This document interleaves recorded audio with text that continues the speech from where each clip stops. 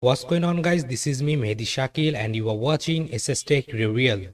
So guys in this video I'm gonna show you that how easily you can run Parrot Security OS into your VirtualBox without installing it. You just need to download two files and that's it. You are ready to run Parrot Security OS virtually into your computer. In this video I'm gonna show you how to do that step by step. So without talking too much, let's get started. Okay guys, so at first you have to open up your favorite browser and search on Google for VirtualBox. Then go to this first website and download the VirtualBox and install it on your computer. This is completely free. So download it and install it on your computer. Then again go to your browser and navigate to parrotsecos.org slash virtual this URL. Now from here, scroll down a little bit and you will get OVS security.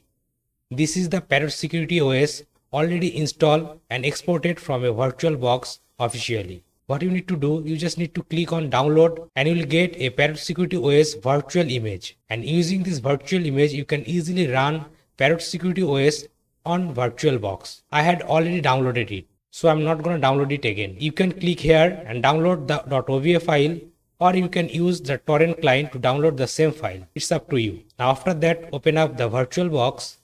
Then from here click on tools. Then click on import. Then click on this icon and go to your that directory where you downloaded the Parrot Security OS file. Here you can see I have downloaded the Parrot Security 4.11.3 virtual.ova. This file. Select this file and click on open then click on next and from here you can change the setting for your OS virtual machine if you want to. I will go with the default settings.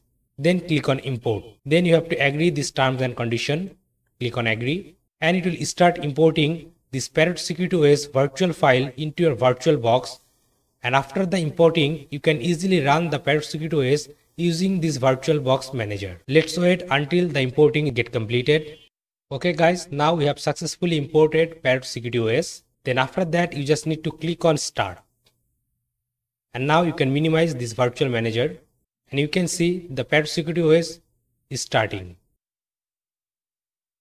Okay, so guys, here you can see we have successfully run the Parrot Security OS using our VirtualBox. And using this virtual machine, you can run the Parrot Security OS into your computer without taking any type of installation hassles. It worked very well.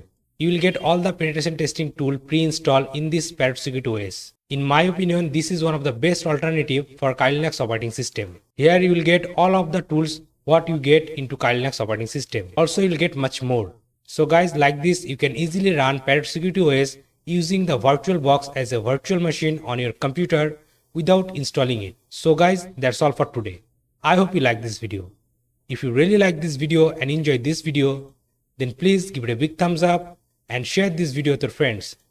And guys, if you're new to this channel, then please do subscribe this YouTube channel and don't forget to press the bell icon to get all the latest upcoming video tutorial notification. I'm Mehedi Shakeel, you are watching Tech tutorial and I'm signing out.